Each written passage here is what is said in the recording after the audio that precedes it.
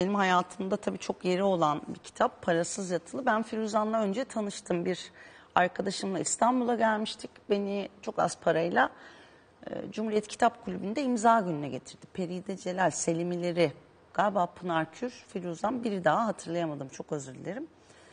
Kitabımız yok, şeyimiz yok. Çok ayıp bir şey yaparak defterimi imza attım ama kitap alacak paramız da yok. Sonra dönüşte Bursa'da e, sipariş ettim. E, bir Firuzan kitabı okumak istiyorum diye ve bu kitap geldi.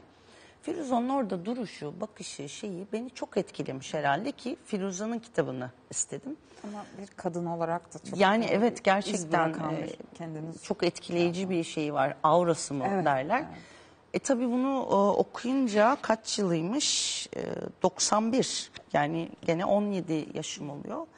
Birdenbire idrak ettim diyebilirim e, edebiyatın e, ne olduğunu ve böyle artık okunmaktan parça parça oldu. Hatta değişik kadın gruplarıyla da e, bu şey e, iskele parklarında öyküsü. Yani kadın yoksulluğunu, yalnızlığını e, anlatışı ve yani 30 kere de okusanız bu öykünün öykülerinin e, hala sevilecek bir şeyin olması bence çok bir yazar için çok güzel bir şey. Bir okuyucu için de bence Firuzan'la tanışmak her yaş yani 20'li yaşlar, 30'lu, 40'lı, 50'li yaşlarda her yaş döneminde e, biraz daha ustalaşarak okumak da bence çok güzel bir şey. Böyle Ya 70'ler 60'lar sonu 70'ler başı olmalı o kitap zannediyorum. Herhalde bir 50 ben de şimdi bakayım. bir ba- baka- bakın isterseniz yani böyle bir 50 yılını Kitabın da yaşı var tabii. İlk baskı 1971 diyor. işte. Tabii benden 3 yaş büyük kitap aslında.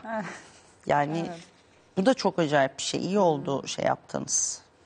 Yani Belirttiğiniz evet. söyleyecek sözü olmuş ama evet sizin e, yani Firuzan'la şeyinizi biliyorum. Muhtemelen e, pek çok kadını da e, Türkiye'de yaşayan tanışıp şınca benzer şekilde vur- vurmuş bir yani kadın edebiyatının özellikle kadın edebiyatı lafından da nefret ediyorum ama işte neyse anladınız ne söylemek istediğimi başka bir duyarlı biçimde yazılmış ve bizim daha iyi idrak edebileceğimiz biçimde söyleyen bir Evet. şeyi var ve Çok e, güçlü. Çok güçlü evet. Ee, ve bir de bu baskı olması da çok Evet ya bunu koruyabilmek yıllar içinde